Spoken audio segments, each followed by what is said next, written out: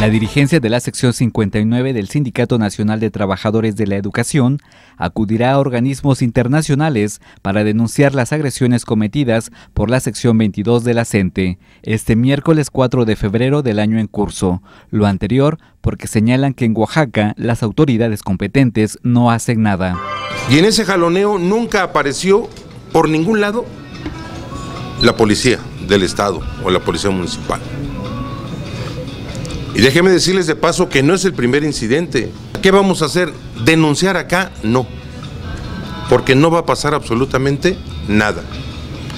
Y hemos decidido, con todos los elementos de prueba que tenemos, recurrir a los organismos internacionales a partir del lunes. En la conferencia para medios de comunicación aclararon que no entrarán en provocaciones de la 22, así como exhortar a los mismos a luchar por temas de real interés, como la aplicación de las reformas estructurales, el recorte presupuestal que hizo la Secretaría de Hacienda y Crédito Público, entre otros temas de los cuales no hay un pronunciamiento específico.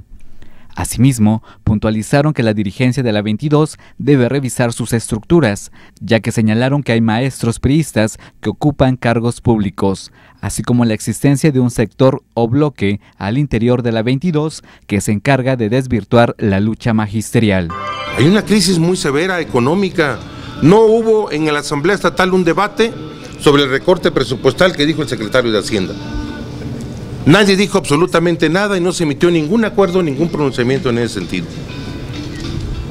Nadie lo dijo. Y eso nos parece un tema grave. Nos parece grave que la reforma siga caminando. Hoy nosotros decimos que los puntos coincidentes hay que buscar la manera de cómo trazamos ruta y dirección por el bien de México. Hoy quieren, nos parece incluso que ya es una estrategia distraer la atención con que persigan a los dirigentes de la 59 o recuperemos las escuelas. Ni con la retención de nosotros, ni con la recuperación de las escuelas van a resolver el tema de la reforma educativa.